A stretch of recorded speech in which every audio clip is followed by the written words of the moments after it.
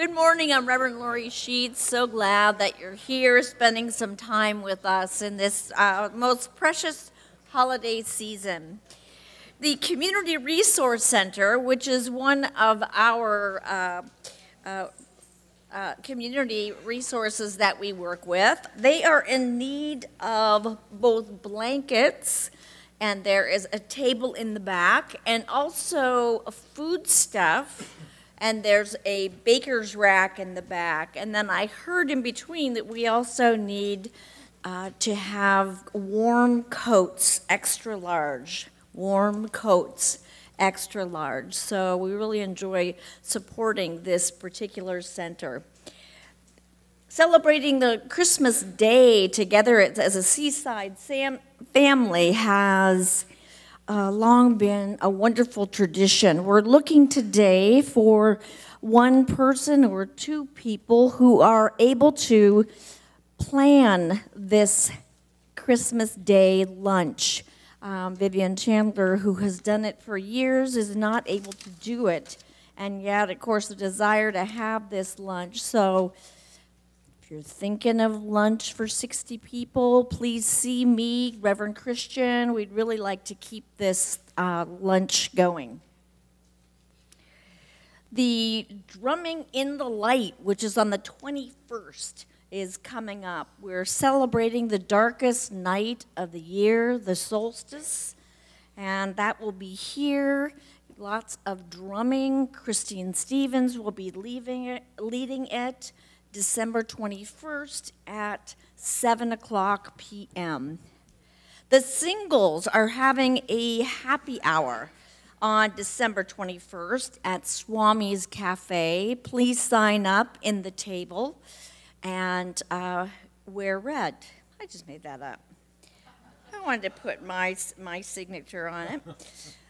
Wednesday, this coming Wednesday, we are gathering together to celebrate uh, Reverend Tammy Miller and her amazing grace service before she passes the torch to Reverend Sunshine Day at the beginning of the year. So I know all of us have really enjoyed that Wednesday night service, and it would certainly be a tribute to Tammy to come and celebrate that. If you are interested in getting the wreaths. Wreaths? Did I say that right? I don't. Wreath. Round. Bow. You can sponsor a teen and help them go to camp, and their uh, information is in the Youth and Family Ministry as well. Without further ado,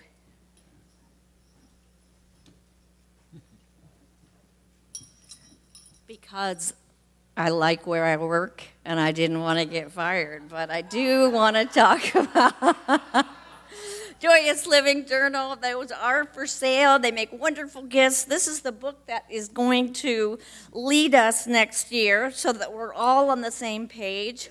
Uh, Dr. Christian is going to be signing books out there today, so please um, plan to get it. It's, uh, it's fabulous. So, And now, please stand and join and greet your neighbor.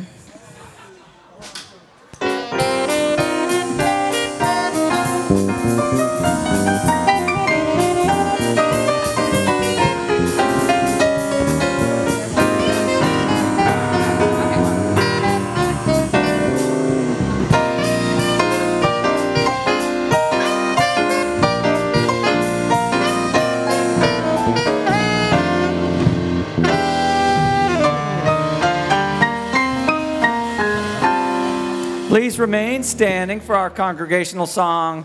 This morning we're singing Angels We Have Heard on High. Gloria. Yeah.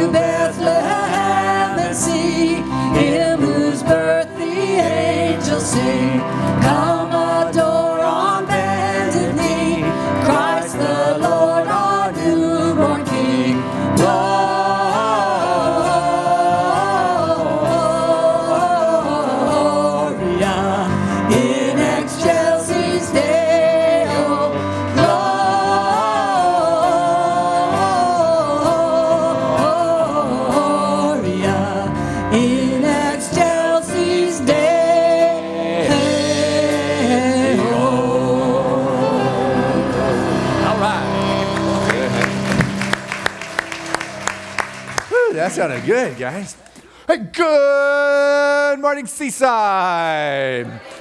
Oh, what a joy it is to be with you in this holiday season and to sing glory.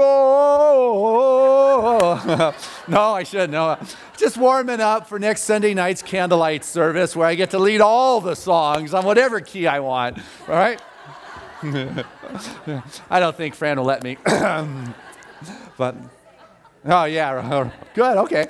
Hey i just want to welcome anybody who may be here for the first time today. Your presence is very special to us. Know that seaside is an open and a welcoming and affirming spiritual community that honors you wherever you may be on your spiritual path. Seaside is a spiritual nexus inspiring people to live their dreams and we are here to support and to care and and nurture uh, one another on our spiritual path. So, your presence today makes a difference as to what today is going to be like, which I trust will be a service of awe. And to really set the tone and get us going to that uh, deeper place is our practitioner, Sharon De Leon.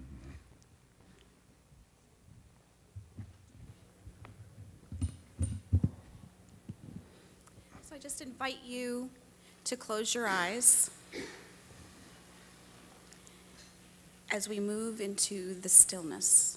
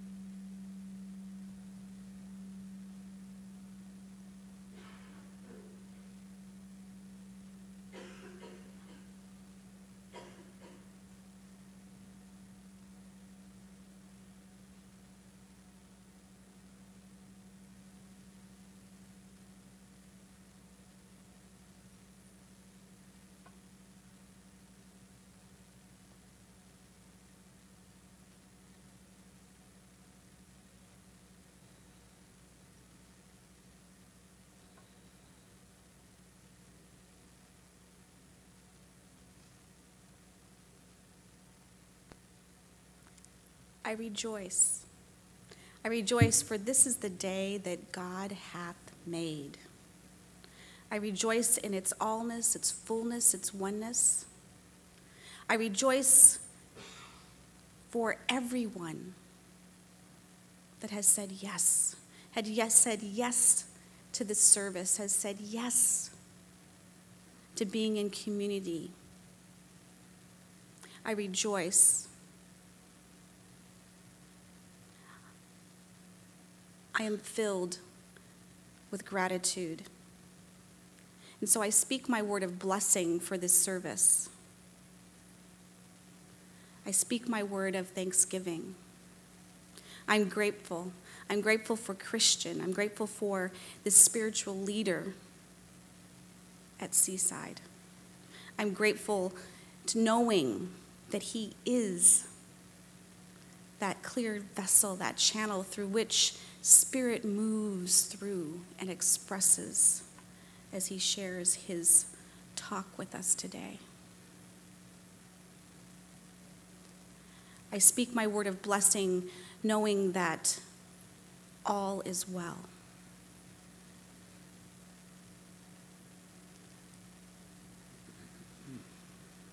And I'm grateful. And so it is.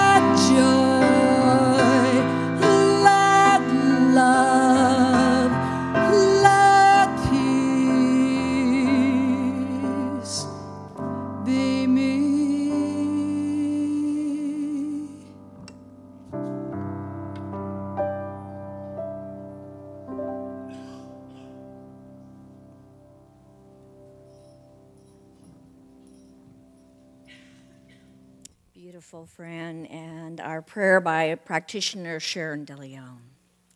How many people are busy this time of year? I want to share something that I've been doing. Two words.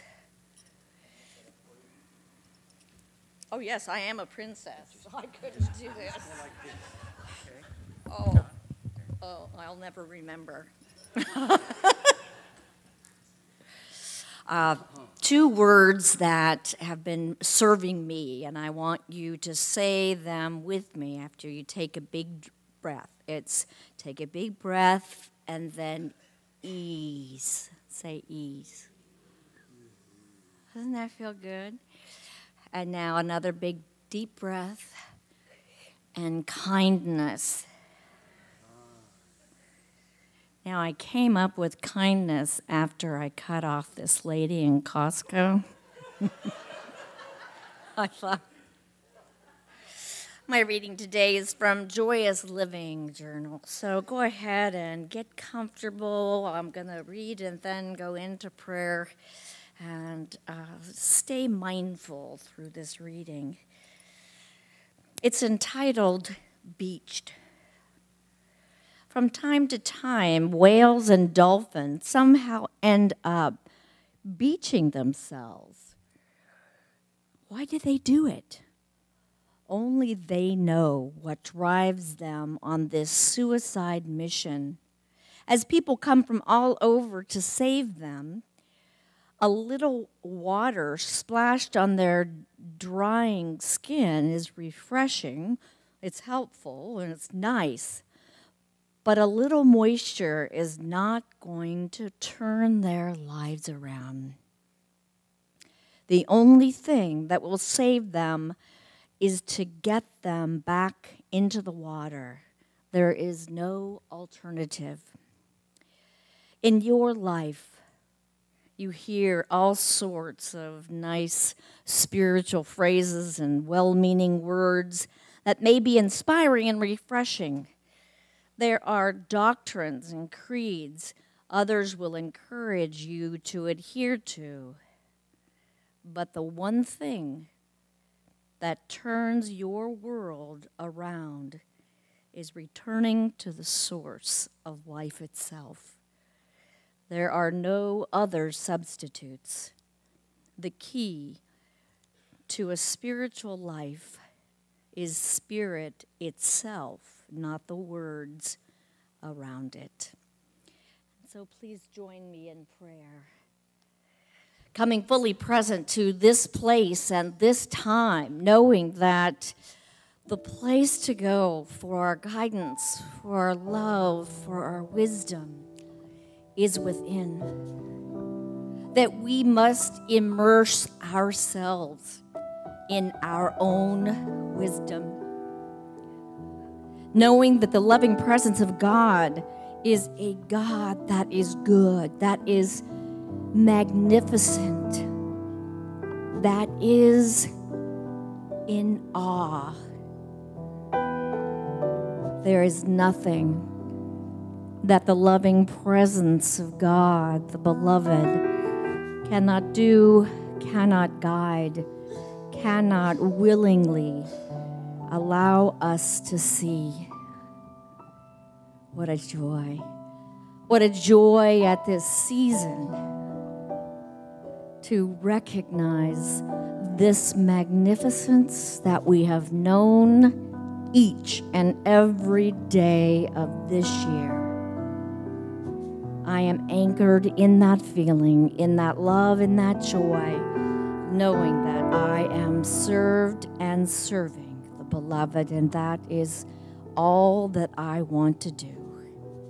Grateful for that and so much more, I simply say, and so it is.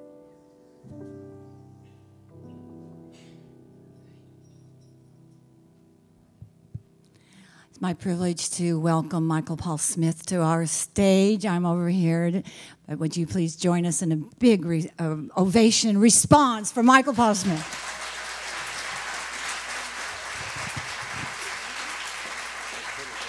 Thank you. Thank you so much. Such a joy to be here at Seaside. Is that okay? Okay, okay, okay.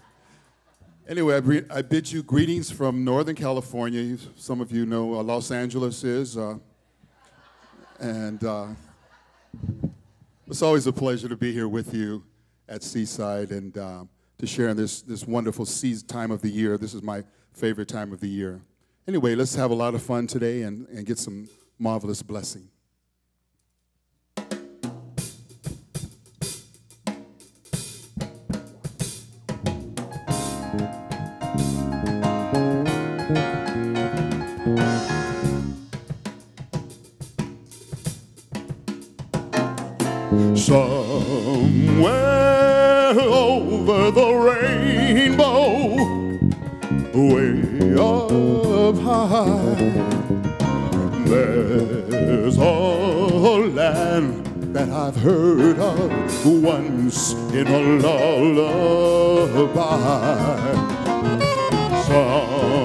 Somewhere over the rainbow, skies are blue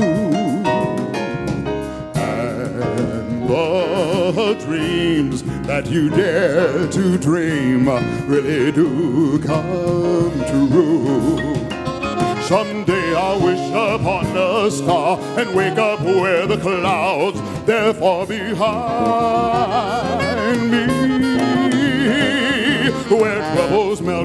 Like lemon drops away above the chimney tops. That's where you're gonna find me somewhere over the rainbow.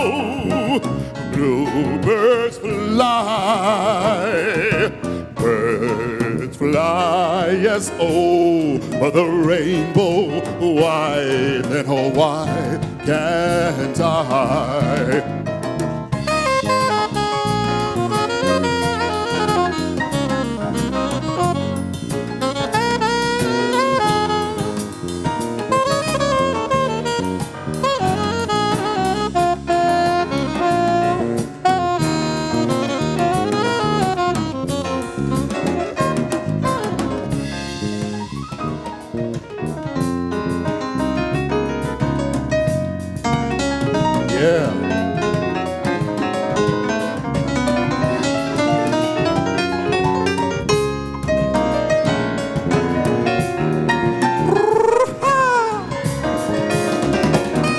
Someday I'll wish upon a star and wake up where the clouds they're far behind, far behind me. Where troubles melt like lemon drops, away above the chimney tops. That's where you're gonna find me. Somewhere over the rainbow.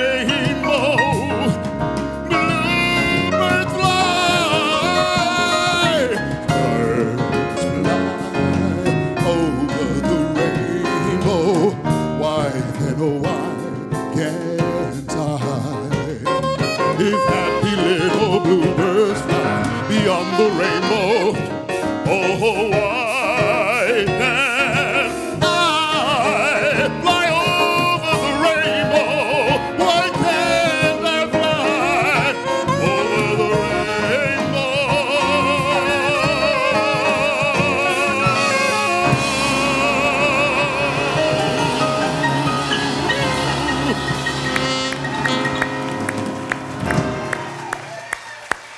Michael Paul Smith. Woo! Michael Paul, great job. I don't think I've ever been standing to the rendition of Over the Rainbow before. Had me moving. That was good. Thank you. All right. Um, you know, I'm just going to jump right in it. Um, our nation was shocked on Friday as um, the shootings took place in our schools. It, it was just heartbreaking, excruciating, something that should not happen, you know, in our nation or anywhere. And it came to realize it's not their kids that it happened to, it's our kids that it happened to. It was our kids. And even though we're not there, I don't know, for myself, I, mean, I could feel the gunshot. I could hear the gunshot within in my heart and soul. And I haven't seen one stitch of TV media about the event, but I'll tell you, I have been impacted. It's been on the internet, it's been on Facebook. I did a baptism here on Saturday morning. The parents just have a great concern for their new child going into the world. And, and what I you know, sat with and, and thought about is how connected we are. We are all inseparable. And for such a, a horrendous act, something like that to happen, there has to be such a, a, pain of disconnect, a sense of separation from humanity, a sense of separation from God that, that, that, for whatever reason, created that kind of act, that sense of separation, because in that sense of connectedness, one would never perpetuate that kind of experience, that, that kind of um, outreach. And so, what I work on myself is going through my anger, my hurt, my pain, so I can get to a place of remembering who I am.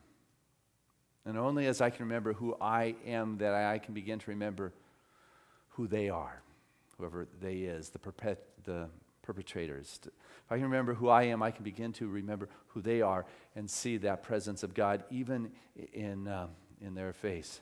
Because that shakeup is felt deep. Um, you know, it is just coinciding with the darkest time in, North America. You know, it is the darkest time of the year, and today happens to be the last day of, of Hanukkah, which is a celebration of the Festival of Lights. Um, the Maccabees, you know, went back to their temple, a place that was good, and the light that was there was sufficient. The light that was there was enough. The untainted oil, that part that had not been uh, violated was enough. And what's important to remember, I believe, in my life, in those darkest moments, that if I can go back to that temple of good, that place that is inside of me, that part that has untainted, that has not been violated, and remember that God is enough, and that what I get to be is a light, that I get to bring to this world a remembrance that God is omnipresent, which means God is everywhere. If God is infinite, that means it is right there in the midst of, of Connecticut. It's right there in the midst of that shooting. Even though it is extremely difficult to see, I am willing to be a a light and say, you know what, God is there, let's look for it. I do not know where it is leading, but what I know is that Spirit must emerge here somehow, and that I'm going to be one who is at least looking for God there while others may be pointing fingers. I think that um, it's a very important time to have a conversation with our children. So, any parents, godparents, grandparents, our children are searching it's imperative that we don't have that news looping and repeating itself in the background in our house, playing images over and over, so we're not bombarding their mind and their, their psyche with, with what is going on out there because they'll know. I'll tell you, Monday morning when they go to school, they will know what is going on, which is why it is so important for you to have a conversation with them before then. Because our children are influenced by you. And if you can talk about the love, you talk about the in how we're all connected. Or whatever it is that the child wants to talk about and ask them what it is that they feel. Not tell them what to feel and not tell them how to think because so often our kids are just given the image that those guys are monsters. And the concept of monsters, whether it's a cliche or what, it only feeds the fear. It doesn't equip them to deal with the challenges that are out there in the world, to sit down honestly and say, hey, I don't have the answer, but I'm sitting here searching. I don't have the answer for you, but what I'm doing is giving you some of my thoughts so after day you can go home and talk them over and, and take them to a deeper level. But what I know about our children, what I have read, a statistic that says our children by the age of 18 will have watched on television or other medias over 200,000 acts of violence. No wonder this kind of stuff is popping out. It's no wonder that it is out picturing it is said that children between the ages of 8 and 16 in America, 56% of them have TVs in their room. And you know what? I won't say what parent hasn't. I have at times given Trevor a DVD and, you know, as a babysitter to go watch for a couple hours, give me free time, or let him watch YouTube, and who knows for sure exactly what he's watching just to give me a break. But how often have parents allowed that to move on. And so, what is imperative, I feel, at this time is that we reinterpret what has taken, taken place and realize that we are aligning at this time on the planet with the planetary movement um, on the 21st. There is a big happening here at Seaside where it's a three day celebration. We start off with the winter solstice and the drumming, and um, it is supposedly the end of the Mayan calendar, the fractal time of 5,125 years when everything lines up and it moves into the next fractal time of 5,125. 25 years. So if we make it past the 21st, we got another 5,125 years we're good for. And, and, there's big celebrations going on around the, the globe on, on Saturday. You can tune into them. Barbara Marx Hubbard's already down in Australia, ready to be the, the first dawn of the new day that is called Birth 2012 that is going on here. What we get to do is reinterpret what is emerging here because the talk is that there is crisis that precedes um, transformation that the crisis and problems are the evolutionary drivers to come forth and bring forth a new world. It is time for a new shift and a birth of a new way of being upon this planet. Our media feeds us those things that are wrong that are out there for the most part. I mean, not all of it, but for the most part, that is what is fed. And do you know 99% of what is going on in the world is good?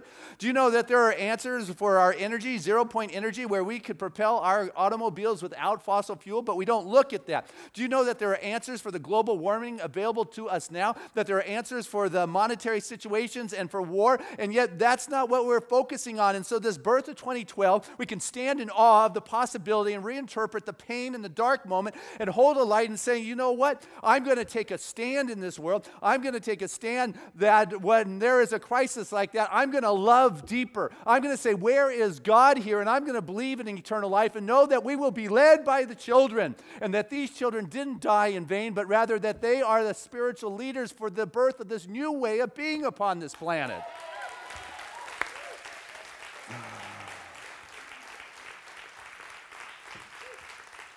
Now, wouldn't you be in awe if we had a shift like that take place? Yes, it is, this awe is a revelation. It is impact. It is a mix of emotions. It is a reverence. It is a, it is a fear. It is an awesomeness that we begin to see. Uh, you know, awe is like there is a power that is so great, like a huge waves crashing against the, uh, the cliffs or a huge thunder of a waterfall. And that you stand there and just feel the power and stand in awesome wonder of the presence of God and its ability to be and to know that each one of us is that point in which that same awesomeness uh, can be released into the world. Yeah. Ernest Holmes said, Approach the science mind with awe, but not with fear. For all the profound thinkers have stood in awe of life itself. And what he said about pain and wound, he said, Take the heat out of the wound, and what is left? The light.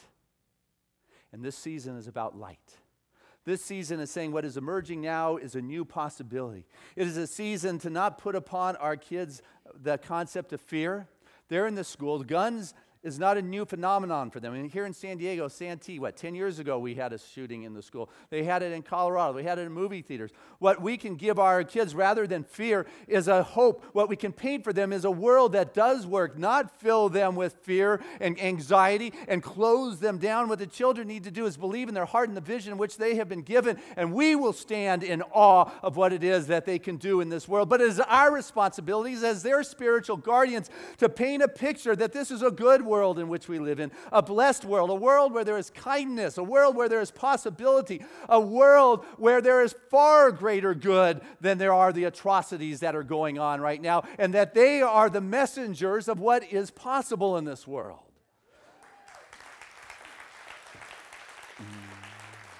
Mm. And it was Emerson who said, He who doesn't pause to stand in wonder and wrapped in awe might as well be dead with his eyes closed. When you experience the awe, it can be a transformational point that changes the whole experience in your life. I think one of our friends, Michael Beckwith, is one who said, If you're not in awe, you're not paying attention. God is everywhere, it is omnipresent, even in the darkest spot. God is enough. That light is enough for us to be able to bring forth into this world. But you've got to recognize that you can't take heaven by storm. Well, I'm going to show them how to be. No, that hasn't worked so far. It is not by might and it's not by power, as what Zechariah tells us. It is about opening up and being present for the presence to have its way in your field of awareness and recognize that you're not going to get it with your intellect and with your mind. If you want an answer, if you want healing to take place of the magnitude of what our nation is going through, it is something that's got to happen through the heart. You know, we're in the era of a new kind of uh, uh, nervous system for our planet. And it's, we are interconnected through no longer the news media that is controlled, but through our social media. I found out all the news through the, the Twitter, the Facebook, the blogs, and what's going on. You find out through your smartphones and your iPads. There is a new nervous system that can give you the pulse of this planet. If you read what's there, there is pain, there is sadness, there is hope, there is possibilities. There are answers that can fill you with a sense of warmth and well being. It's not something you can get with your mind, it is a whole being kind of experience that will fill you with awe. That is like so much power that is beyond what I can begin to comprehend that I cannot even begin to define it. This is a season of awe, some wonder. Allow yourself to be caught up in the awesome wonder of what is going on there, and you'll begin to see the blessings of God in ways you would never had experienced. Um, Linda Demers, she was a fifth grade teacher. And she tells the story coming back from summer vacation. She first met Daniel leaning in the door jamb of her schoolroom, disheveled, messy hair, tennis shoes, three sizes too large for his feet, checkered pants with uh, tears in, in, the knees.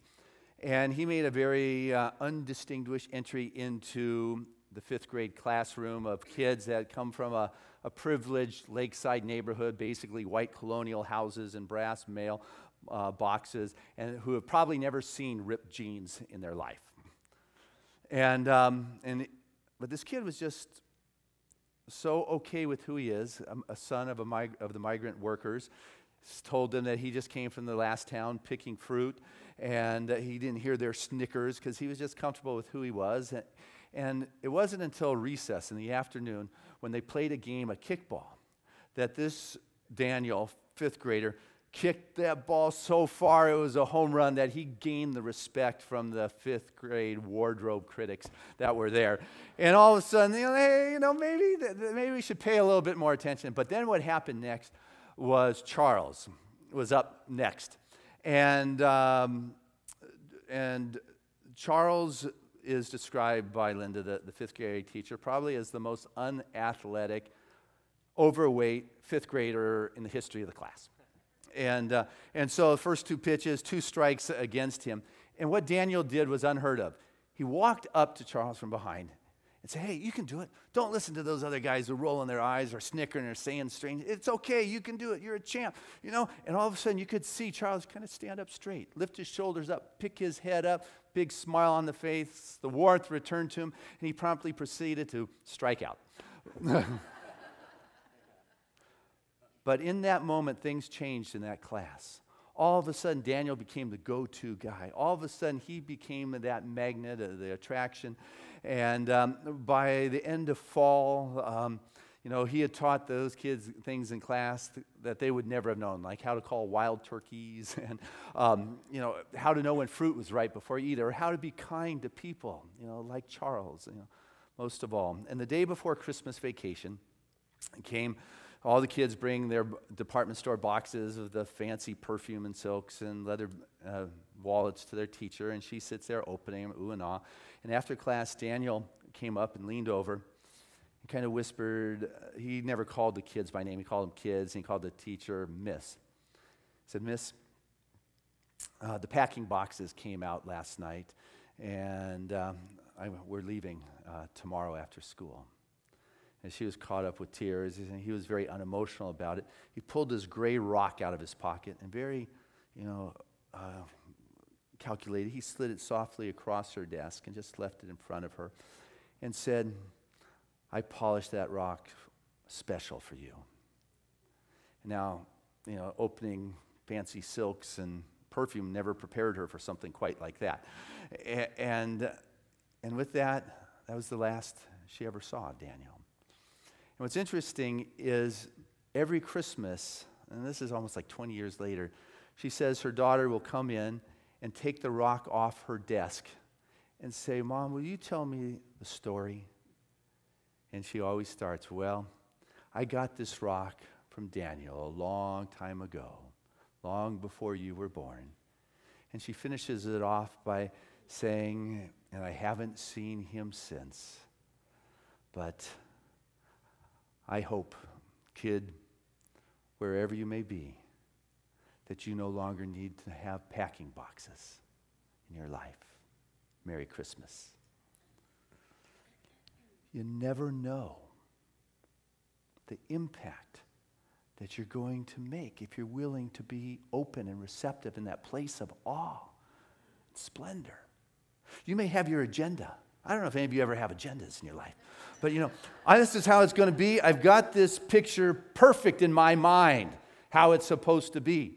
And all of a sudden, you're inspired, or life comes in and it shakes it up, and all of a sudden, you're sliced and diced and spit out in an entirely different location. All of a sudden, all your wounds have been exposed, but it's really meant for them to be healed. All that you had planned have now been set aside by life all of a sudden the scenery has been messed up and your world has been stirred up, and your perfect picture of how it was supposed to be, whether it was for Christmas or whether it was in a classroom or whether it was in life, all of a sudden your picture has been messed up as if life showed up in your living room with big old boots caked with old mud all over your floor, absolutely making a mess to the point where what you want to do is run off with a Colt or, um, you know, uh, take up a new hobby like drinking or, uh, you know, just uh, run off with a guy from, or a gal from behind the deli counter or maybe just roll up and take a nap in an abandoned grotto for, say, 500 years or something. You know, you just had enough. But what I want you to get is you have got to learn to trust life more than your plans. You've got to learn to trust what is emerging in this new era, this new age, and this new light more than your perfect picture of how it is supposed to be. Do I create the room in my world to allow God to show up? Am I willing to stand in awe of that which is greater than my mind can figure out? Yeah, I'm sure you're going inside, right? Yeah, yeah, yeah, yeah. That, that, that's it. Because I'll tell you what, if you're kicking and screaming and trying to deny that because your picture you're holding to that schedule or your plan, what you're doing is throwing a tantrum and denying the birth of the greater possibility in your life. You've got to be open. You've got to be willing to be present for Spirit to show up so you can go, ah, wow. Ooh, woo is right. Spirit knows how to show up. It knows how to show up story that touches my heart, I see sometimes this time of year, is about a, a pe- town, small town in Pennsylvania. And um, th- there was this uh, one family that put the menorah in their window. And this um, particular uh, woman, she came over, actually escaped from Russia as a little child with her mom during the Holocaust. And so she had that in her DNA, if you would, that kind of fear. And the third night on, of Hanukkah, some vandals came into the neighborhood with a baseball bat, broke her window, took the menorah, and smashed it down. Linda, Lisa Keenley, her neighbor, was coming back from church, or was at church, and she heard this story. And she was just appalled. They said, We're a small town with a diversity of, of spiritual and religious beliefs here. Nothing like that ever happens. What can I do? She had one of those all moments. She said, You know what? I'm going to get a menorah. She asked her husband, say, Hey, let's put a menorah in, in our window. So if there was ever going to happen again, they would have to also include us. The husband said, Great, let's go for it. And so she, Lisa was going to the store. She ran into another neighbor, uh, Margie Alexander, and said, Hey, Margie, this is what I'm doing. And Margie was appalled as to what happened, said, Hey, count me in, get a menorah for me. And they told more people, and they went from several stores. They bought up all the menorahs on the you know, third night of Hanukkah. And, um, they, and the neighbors all put them in their window. And that evening, when this woman came driving home and she turned down her, the street in her neighborhood, what she saw were 18 houses flashing with the gold light of menorahs in their front window. As she wiped the tears off her eyes, she went to her house, picked up her smashed menorah, put in new light bulbs, and proudly put it back into her window. That's not awe inspiring of what the human spirit is capable of. The human spirit is kind. The human spirit is caring. The human spirit wants to love, it wants to participate. When Elvis Presley used to say, when things go wrong, don't go with them.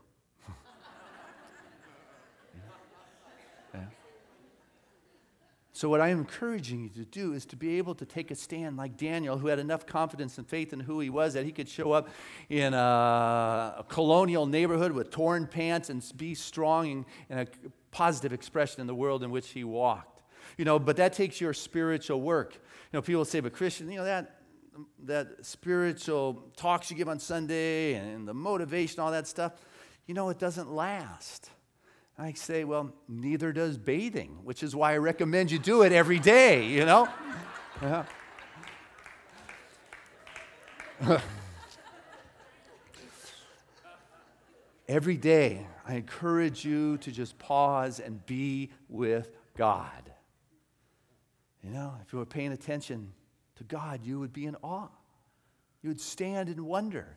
And so I encourage us daily just to take the time to stop, to breathe, to allow yourself to connect with that divine vibration, that wonderful frequency, and be in that God presence. You're not trying to do anything, you're just being that, that wonderful divine vibration. You are that light in the midst of the darkness, this darkest time of the year. There is a 100 million people supposedly on this planet celebrating the birth of 2012 that this is the emergence of a positive new way of being in this world and that the crisis is the evolutionary driver. And what we saw on Friday is part of the crisis that is appalling, unacceptable, that this cannot happen to our kids ever again. And we're willing to stand up and say, you know what?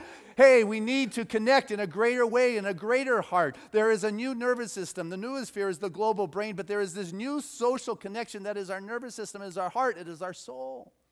And among that are the kind things that are going out. What are you looking at?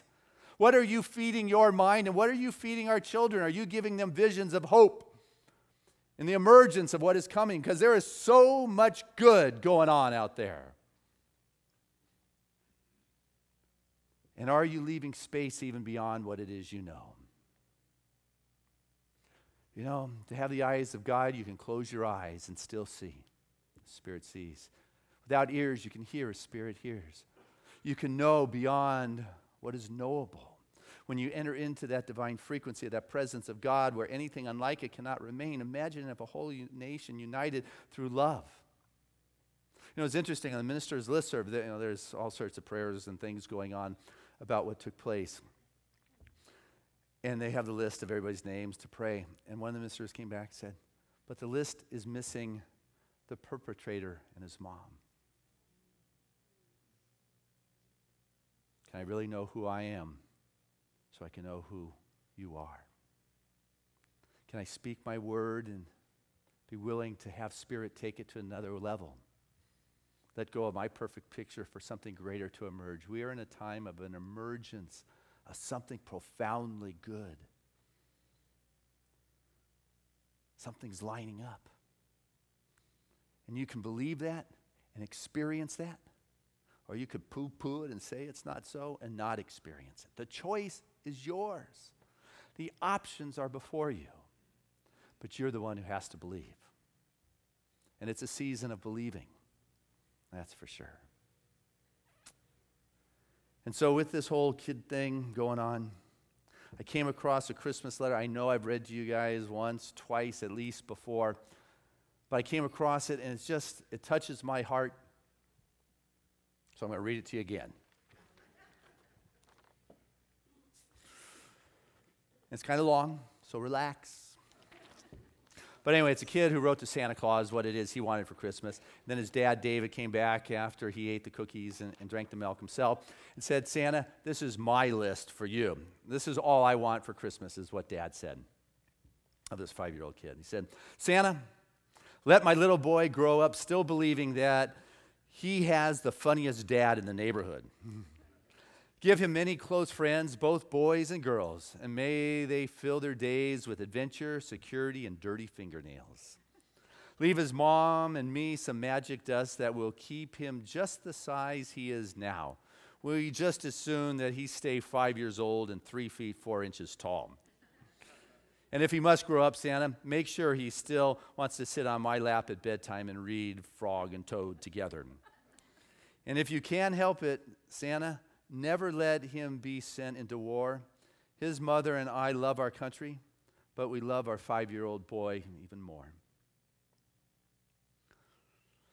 And while you're at it, would you give our world leaders a copy of Killer Angels, Michael Shaara's retelling of the Battle of Gettysburg?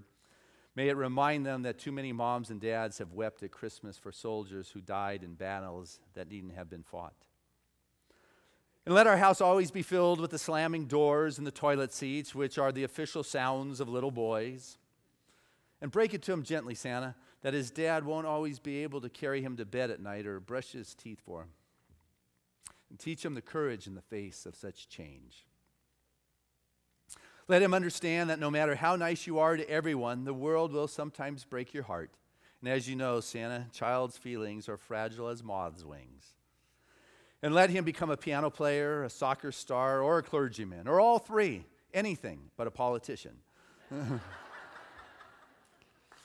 Give him a hunger for books, music, and geography, and may he be the first kid in the kindergarten class to be able to find Madagascar on a map. The kid's a born artist, Santa, so send him crayons. And may our kitchen windows, refrigerators, and doors be ever plastered with the sketches of surreal rainbows and houses or horses with big ears. And steer him oh so carefully to that little girl destined to be his bride. And let his mother and me still be around when he walks her down the aisle. And if there is a just God, would you let her daddy be obscenely rich? Grant him a heart that he will cherish what his parents did right and forgive us for the mistakes we surely will have made over a lifetime of raising him. Hold him steady on the day that he learns the truth about you and the Easter Bunny. And may he take it, the news better than I did. And when you're flying around the heavens, Santa, make sure God has heard our prayers for this child. Lead our little boy not into temptation and deliver him from evil. Be careful out there, Santa, and close the flute on the way out.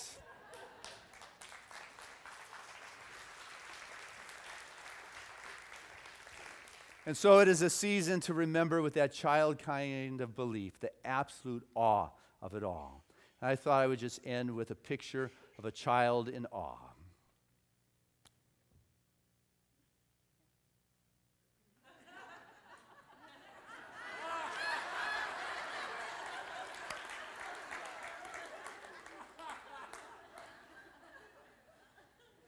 There's supposed to be a little sharper cue here. Yeah. I like me, though. That was good. There we go. Oh, come on. Hey! May you experience the awesome wonder of life. God bless you. I love you.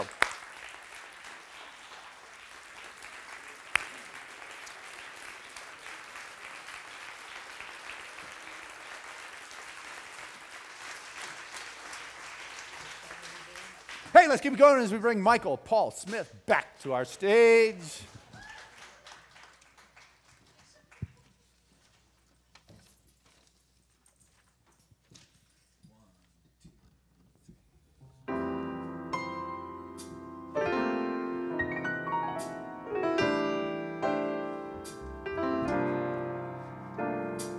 Christmas time is here, cheer, fun for all that children call their favorite time of year.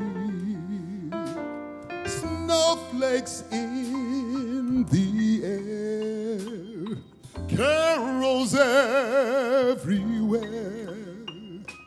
Olden times and ancient rhymes of love and dreams to share. Sleigh bells in the air, beauty everywhere. Yuletide by the fireside and joyful memories there. Christmas time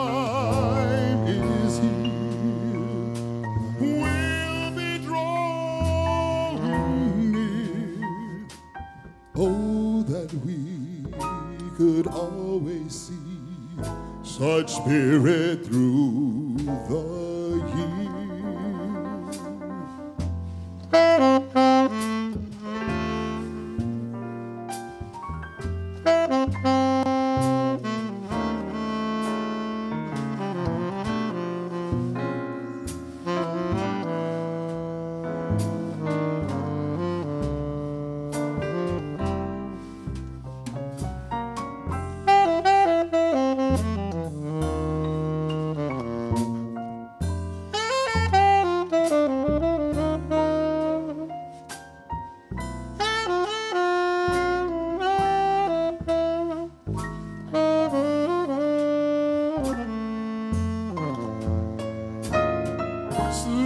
bells in the air, beauty everywhere. Yuletide by the fireside and joyful memories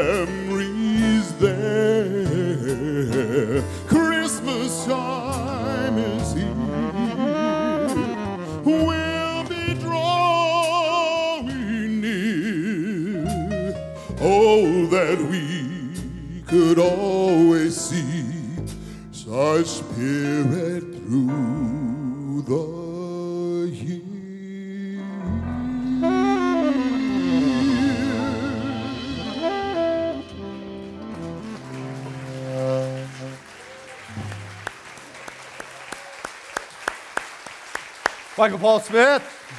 Beautiful.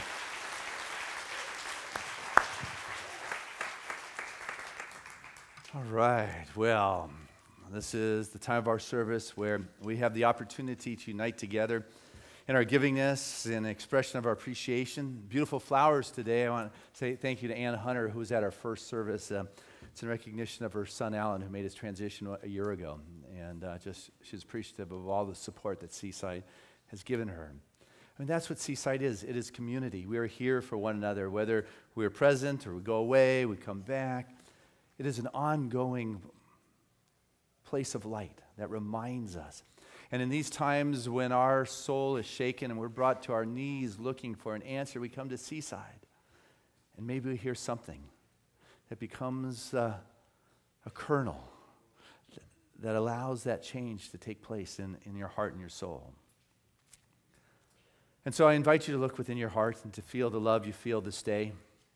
Allow yourself to be in awe of God and grateful that it shows up in your life in this way as Seaside and that you play an integral part in its uh, perpetuity, in its longevity, in its continuing to be here. We stand on the shoulders of those that sat here on Sunday mornings just like us, supporting it for this generation. And we do the same for our kids that are coming next. And so this is the time of the service I say, listen to your heart and support spirit in your life that is showing up as seaside. And as you give, it comes back. It's not why you do it, it's an extension of your consciousness. It's allowing your heart to speak. Be able to give without strings, without expectations. You're just in that flow. So listen. I want to invite our ushers to come forward at this time and say thank you to this this wonderful crew. And, and thank you to all of, all of you in, in your givingness, those who mail in your contributions when you can't be here on a Sunday, or those that remember us with the auto tie, that regular systematic support to assist us with, I'll show you, the regular financial obligations. I just say thank you from the fullness of my heart and gratitude for the most generous of spiritual communities that comes together to create a place where spirit is able to magnify and express itself in ever expanding kinds of ways for the blessings of god is truly upon this moment and it is a rich moment when there is a sense of security and a sense of peace a sense of revelation and you stand with a sense of awe that the world really is emerging to a greater place, and that the challenges have been the evolutionary drivers for that emergence to that next place. And that as we look around, we see the children are leading us, and that there is a new perspective, and all of a sudden there is a sense of joy that returns. And I know right now that we are living in an abundant universe, inexhaustible reservoir that is continuously pouring forth the rich blessings of life itself, manifesting in our individual worlds in those ways that are relevant for us. And so as each of us says yes to being in the flow of life, what life pours forth is that greater flow until we say, well, that's enough. And so, living as a transparency for that abundant flow of life, being the activity of God's abundance in our life, we send this forth, that which has blessed us, knowing it continues to bless those whom it comes in contact. It continues to ripple out and bring the richness to everyone it touches, which is many. I say, Thank you, Father, Mother, God, for this opportunity to pause and to remember the awe of it all. And so it is. Amen.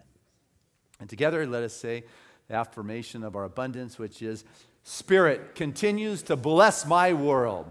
Gratefully, I live as the giving expression of Spirit, opening the floodgates of the affluent flow of greater good as my life now.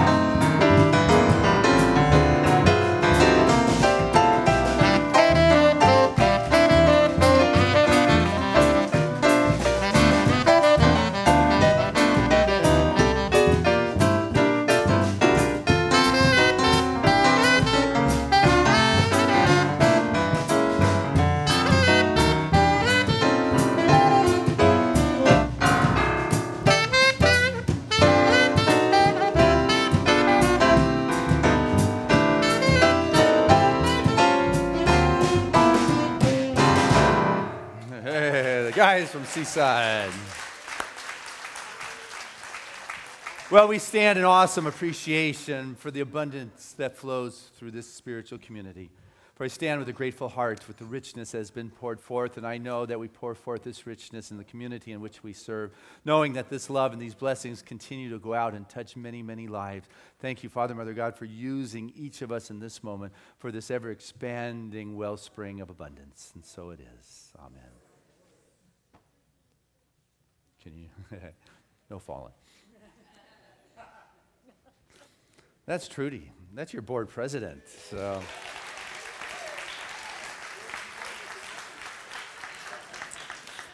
So let's see, a lot's going on uh, at Seaside. Big night Wednesday night here is uh, a celebration of 10 years of Tammy's Wednesday night expression. She's passing the t- baton on uh, to Reverend Sunshine in January, and so Friday, uh, Wednesday night, it will be a big celebration as she wraps up her tenure with the amazing grace. We're going to, I don't know if we're going to roast her or what, but I'm planning to be here for sure. So also, Friday night, you know where I'm planning to be right here at this uh, drumming circle to um, participate in the solstice celebration and the completing of that fractal part of time and uh, ushering in uh, the new one. So, uh, celebrating that. Uh, next Sunday night, want to remind you, is the candlelight service right here at Seaside. It is always a fun celebration. It's not one of those stuffy, real classy kind of ones. It's more like show up in sweaters. It's our Seaside's living room. We're sitting around the fireplace, singing together, laughing together, and uh, sharing and uniting our light for the world uh, to experience. So, lots going on. New Year's. Uh, um, or Christmas Day here, Vivian, who usually hosts our, can, uh, our Christmas um, uh, dinner or lunch, um, it will be out of the hospital, she assures me, but probably not in the shape to organize the day. So uh, we're looking for some individuals to help make sure that flows a little smoother, um, and we'll hold her in prayer. New Year's Eve, uh, Dr. Christina is doing the Burning Bowl, so there's a lot of fun activities. Santa's going to be here on next Sunday night. So if you guys want to come and sit on Santa's lap, maybe get a candy cane, tell Santa what you want, it's the happening place. So that's good. Hey, Rue, how much longer are you around from Australia, going to college, back home here? Tuesday. Wow. Well, we love you. Our love goes with you. That's for sure. So, okay, well, let's pray. Healing's the thrust of this movement since its conception. Um, healing is where we go when the appearances seem other than uh, one of ease and grace. And so I invite you to open your hearts with me at this time and know truly that this is a moment where each of us has the opportunity to experience that which is more than our mind knows. I want to invite any of our religious science practitioners to stand and all of us just to feel this upliftment of consciousness as they physically stand up, can feel this upliftment of thought, of possibility, of the infinite grace, the spirit that moves. Come to know your experience as that God vibration, that divine frequency where there is no otherness, where there is no separation, there is only that true alignment with that that heart center, that God center of one's being. And it is in that place, anything unlike it naturally falls away. I need not tell God, that intelligence that guides the universe, what to do in my life. All I need to do is open up and listen to that which is mine to do.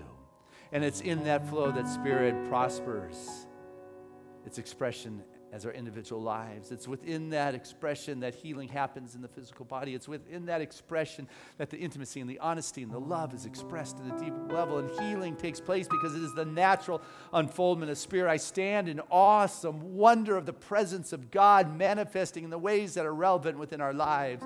I know every prayer in our prayer request chest is answered and it is filled with requests for divine right action and love and light. Sandy Hook. Over in Connecticut. That right there in the midst of that community, may they feel the love that is pouring out from this place at this time, that's pouring forth from our nation, that is uniting this planet for many portals of spiritual expression that are just loving and holding those children and adults that stepped over to the other side this week as leaders for a new consciousness to emerge, a new life to emerge, free of violence, where the vision and the possibilities and the hope reign supreme. in a world that works for everyone, where the children's creativity is encouraged. That unique expressions of life that you find just leaning in your doorway as you show up one day is welcomed as a diverse part of family.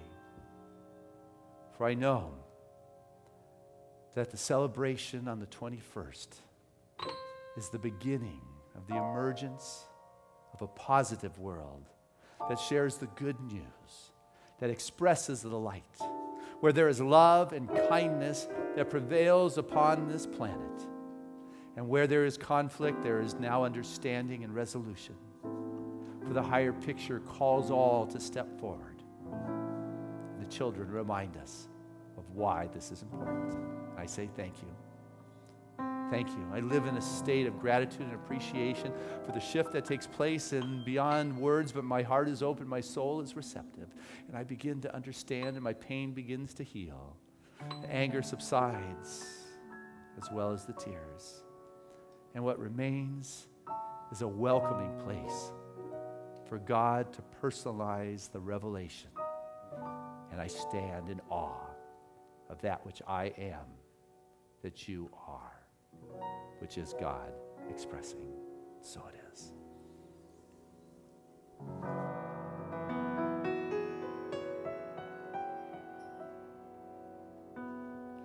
Ooh, there was a time my life I thought I had to do it all for myself. I didn't know the grace of God was sufficient. I did not know the love of God was at hand. But now I can say you are discouraged and trying to make it through just one more day. You gotta let it go.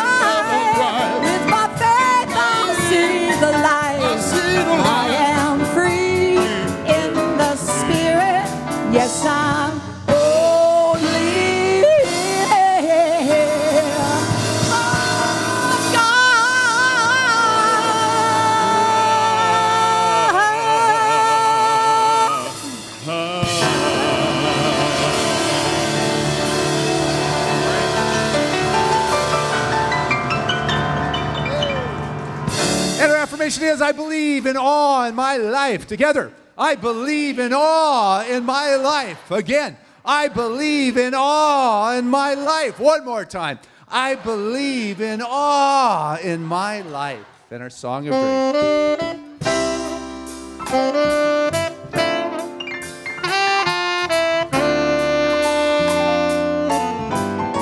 I'm living in love. I'm living in peace. I'm living for what I believe. Through joys and through fears, in this world I walk. God's grace shines on me and it shines on us all. We are living in grace. We are living in grace. We are living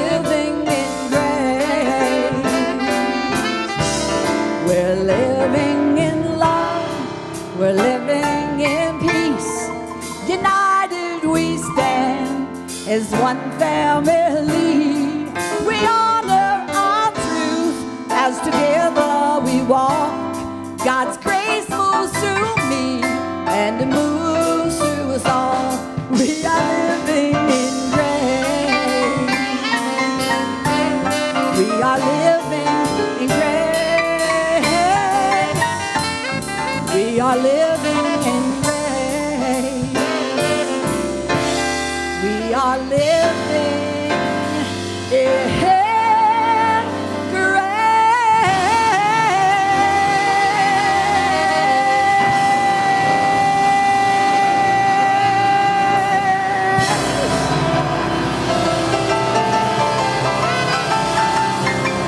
amen. Hallelujah.